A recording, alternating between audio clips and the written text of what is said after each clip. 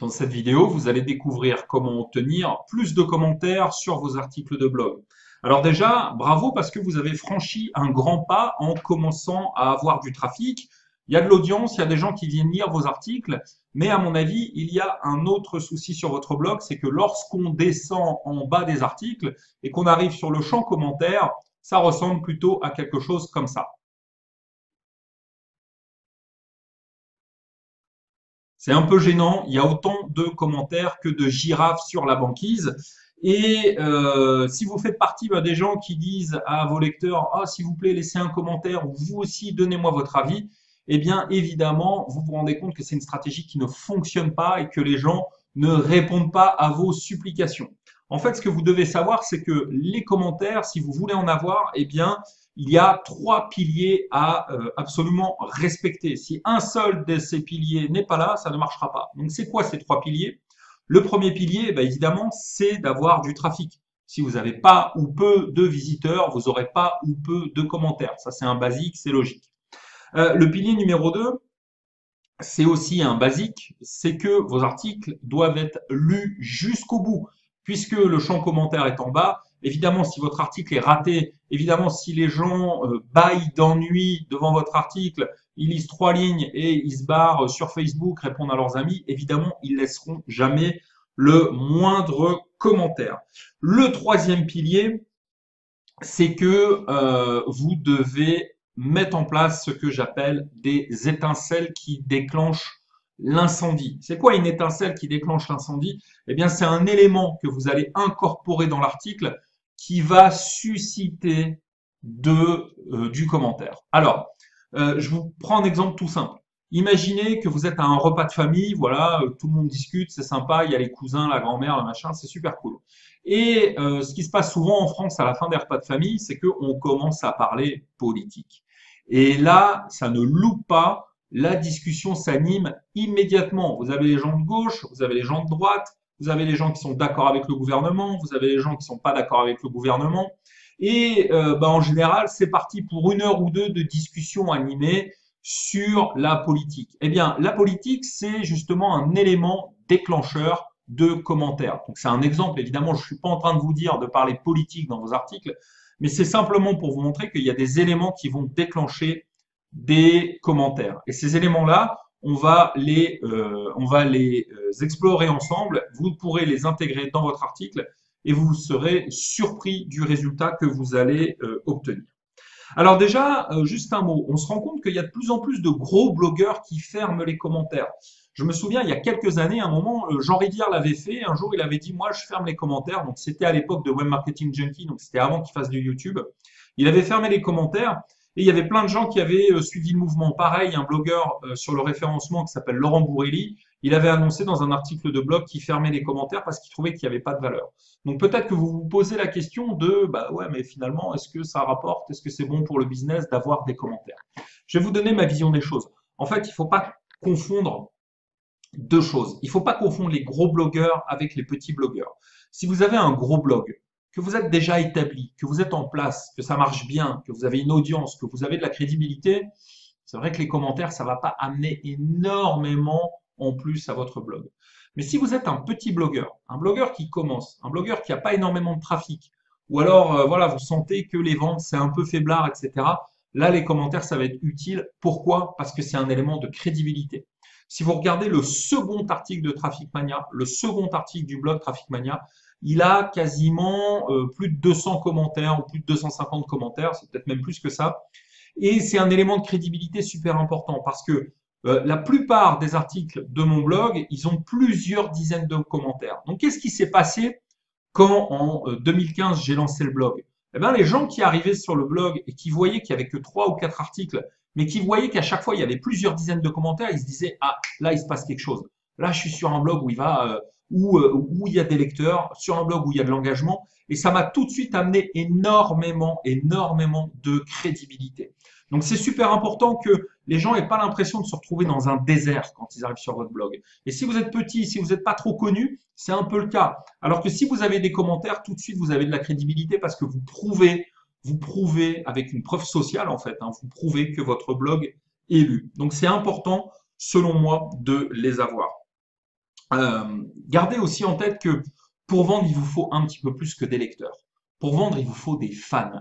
Avoir des lecteurs, c'est très bien, mais euh, les gens qui vont acheter vos produits, c'est les gens qui vous apprécient, c'est les gens avec qui vous avez su créer un lien.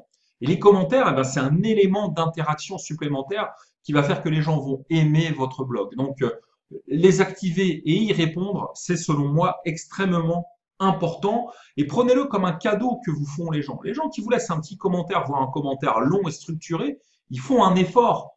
Euh, ils écrivent pas juste ah ok merci pour le conseil. Non, il y a des gens qui vont vous écrire des commentaires qui vont faire 10, 15, 20 lignes. Ils prennent 10 minutes pour faire leurs commentaires. Donc leur crachez pas à la gueule. Je veux dire, profitez de ce moment-là pour créer du lien. Profitez de ce moment-là pour échanger avec eux. C'est bon pour le business. Donc je vous ai expliqué le principe de l'étincelle qui a allumé l'incendie. Hein. C'est comme quand on va parler de politique lors d'un repas de famille. Quels sont les éléments que vous pouvez intégrer dans votre article pour obtenir justement des commentaires? Eh bien, le premier euh, exemple que je vais vous donner, c'est l'exemple des sujets tabous. Euh, il y a un article que Olivier Roland a écrit il y a quelques années dans lequel il présentait les revenus des blogueurs. Alors c'est rigolo parce que c'est un vieil article et on se rend compte que les gens de cette liste, il y en a déjà beaucoup qui sont plus là. Mais bref, peu importe. C'est un article qui a eu plus de 200 commentaires.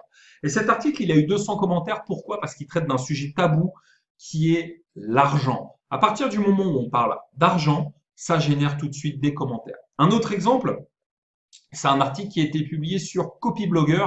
Copyblogger, c'est un excellent blog euh, sur le marketing de contenu. C'est un blog américain. Et il y a un article dans lequel il y a eu plein, plein, plein, plein d'échanges en ping-pong de commentaires. Pourquoi? Parce que là aussi, ils ont utilisé un sujet tabou. En fait, l'auteur, il a intégré des insultes, une insulte en particulier, dans son euh, article. En fait, dans la description de sa biographie, il a mis le mot mofo. Et mofo en anglais, c'est l'abréviation de motherfucker, donc enfoiré de ta mère. Donc c'est clair, c'est voilà, c'est un gros mot. Et euh, il a mis ça dans sa bio. Il a dit voilà, moi je suis un, je suis un blogueur et un enfoiré de ma mère, ou quelque chose comme ça. Donc évidemment, ça a été cascade de, euh, de, de commentaires. Donc ces deux exemples, ils montrent qu'à partir du moment où vous mettez quelques pics sur des sujets un peu tabous, vous aurez des réactions. C'est assez facile à faire dans votre article. Euh, le deuxième déclencheur que vous pouvez utiliser, ce sont les approches inhabituelles. Vous le savez, en blogging, tout a à peu près été dit. Et dans votre thématique, il a sûrement déjà été dit plein de choses. Eh bien, n'empêche qu'on peut réécrire sur des sujets qui sont connus et obtenir plein de commentaires. Il y a un exemple, c'est un article que j'ai écrit pour Truc de blogueuse. Quand je lançais Traffic Mania, je faisais beaucoup d'articles invités. Et euh, c'est un article qui a reçu beaucoup, beaucoup, beaucoup, beaucoup de commentaires. Je vais vous expliquer pourquoi il a bien marché. Il a bien marché parce que j'ai réussi à toucher les gens. J'ai eu une approche inhabituelle. Le sujet, il était convenu. C'est un blog dans lequel je donne une astuce trafic. Et cette astuce trafic, elle est très simple. C'est pour avoir du trafic, faire des, faites des articles invités. Allez publier chez les autres. Je veux dire, c'est un article, enfin, c'est une, astuce, pardon, que vous avez déjà entendu 50 fois, 100 fois, 1000 fois, aller dans plein, plein, plein, plein, plein, plein, plein d'articles de blog. Et pourtant, cet article, il a eu beaucoup de succès. Pourquoi? Parce que c'est un article extrêmement empathique. Donc, je vous invite à aller le voir. Vous tapez comment ne plus être ignoré, truc de blogueuse. Voilà, vous tapez ça dans Google, vous tombez sur l'article. Et vous allez vous rendre compte comment on peut donner une astuce très simple, qui est déjà connue, mais avoir un article qui a du succès. Pourquoi? Parce qu'on y intègre énormément d'empathie et qu'on touche les gens au cœur. Je vous encourage à aller voir et à utiliser cette même stratégie, à reprendre un sujet qui est un peu bateau, mais à le présenter sous une forme qui est extrêmement émotionnelle, extrêmement connectée. Vous verrez que vous aurez du répondant auprès de votre audience.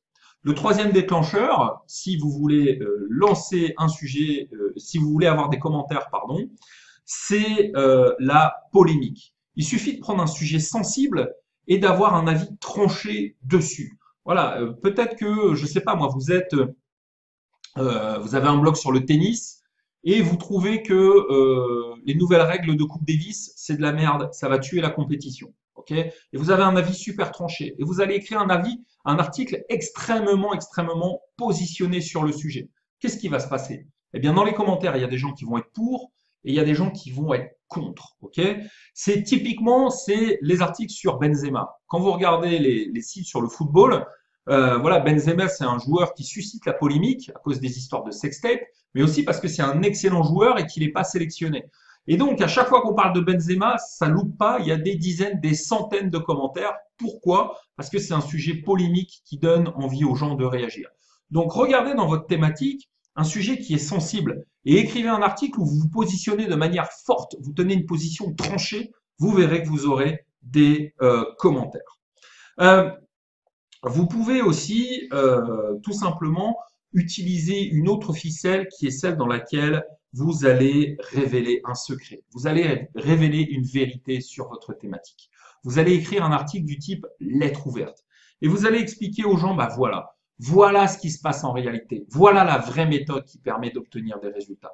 Si vous êtes le premier à révéler un secret, ça marchera, vous aurez énormément de commentaires. Le meilleur exemple, c'est cet article sur Traffic Mania, comment j'ai fait pour avoir 1497 pages vues sur mon premier article alors que mon blog était vide.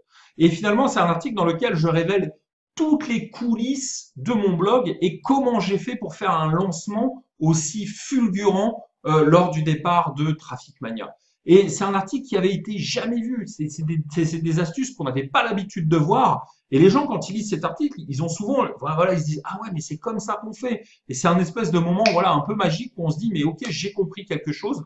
Donc je laisse un commentaire. Et c'est de tous les articles de Traffic Mania, celui qui a eu le plus de commentaires. Et il fonctionne parce que je révèle l'intégralité d'une méthode sans, euh, sans euh, comment dire, sans rien cacher. Je détaille le tout et c'est pour ça que les gens sont bah, stupéfaits par l'article.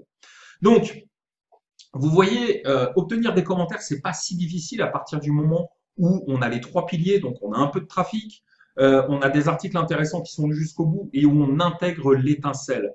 Vous avez vu une série d'étincelles. Moi, ce que je vous invite à faire, c'est d'essayer de faire ça dans vos prochains articles. Vous pouvez aller voir les articles que j'ai cités euh, dans la vidéo, mais vous pouvez aussi euh, tout simplement euh, bah, télécharger une formation qui est disponible là en dessous. C'est une formation qui va vous expliquer comment obtenir plus de trafic. Donc avec cette formation, vous allez découvrir comment avoir plus de trafic. Il suffira ensuite que vous intégriez dans vos articles cette petite étincelle qui fera réagir les gens. Euh, donc, l'action que je vous demande maintenant, c'est d'arrêter de supplier. Arrêtez de dire aux gens, ah, laissez-moi un commentaire s'il vous plaît, dites-moi ce que vous en pensez, parce que ce n'est pas incitatif. Ce que je vous recommande plutôt, c'est d'essayer une seule de ces astuces. Si vous devez en choisir une pour commencer, choisissez la polémique. Trouvez un sujet un peu sensible dans votre thématique et écrivez un article très tranché avec des positions fortes et vous expliquez pourquoi vous avez raison et pourquoi tout le monde a tort. Même en étant un petit peu de mauvaise foi, c'est pas trop grave vous verrez que ça va réagir. Voilà, donc si vous avez aimé cette vidéo, merci de la liker pour que les autres internets puissent se rendre, compte que le contenu est pertinent. Vous pouvez également vous abonner à la chaîne Traffic Mania ou à mon blog, c'est gratuit et vous recevrez des tonnes d'astuces pour développer votre business en ligne. Vous pouvez aussi télécharger une formation gratuite d'une heure, c'est là juste en dessous dans la description. Merci beaucoup, à bientôt sur cette chaîne ou sur le blog Traffic Mania. Ciao